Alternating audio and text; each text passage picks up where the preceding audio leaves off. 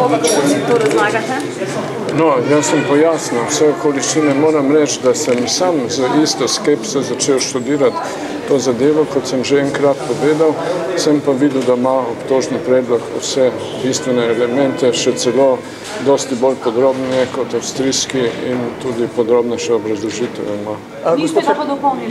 Uh, ja, to me zanima. Zdaj omenili ste to avstrijsko obtožnico. Avstrijci so prišli do tega, kdaj konkretnega dne, kdaj naj bi Riedl prinesel denar in ga izročil Jožetu Zagožno. Zakaj to ni v slovenski obtožni projekt bilo tudi vključeno? Uh, veste, dokazni standardi so pač takšni, da je tožilka, ki je napisala obtožni predlog, ocenila, da je boljše dokazati tisto, kar, za kar obstajajo zanesljivi dokazi, kot pa, da bi trdila nekaj, kar bi bilo mogoče preveč napihnjeno. Zdaj, iz, avstrijskega, iz avstrijske obtožnice je razbrati, da so v bistvu do teh ugotovitev prišli tak šele potem, ko je bil slovenski obtožni predlog že napisan. Ne bi rad se spuščal v samo vsebino, prostite. Neugotovljen bi kraj, neugotovljen čas, bilo... vendarle dobiva neke obrise.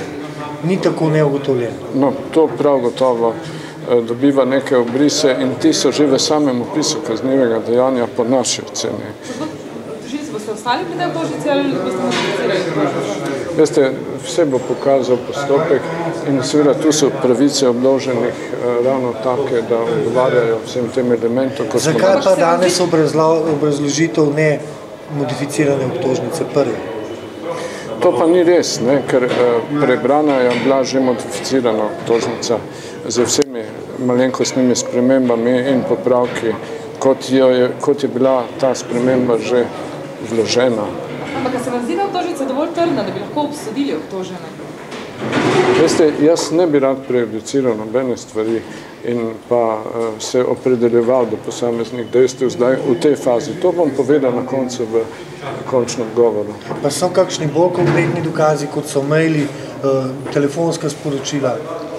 Gre za vrednotenje dokazov, to bo pokazala obravnava, kakšna je njihova verodostojnost. Povedal sem pa svoje stališče, ki ste ga slišali, ne bi pa zunaj glavne obravnave rad govoril o svojih stališčih do posameznih elementov. Hvala.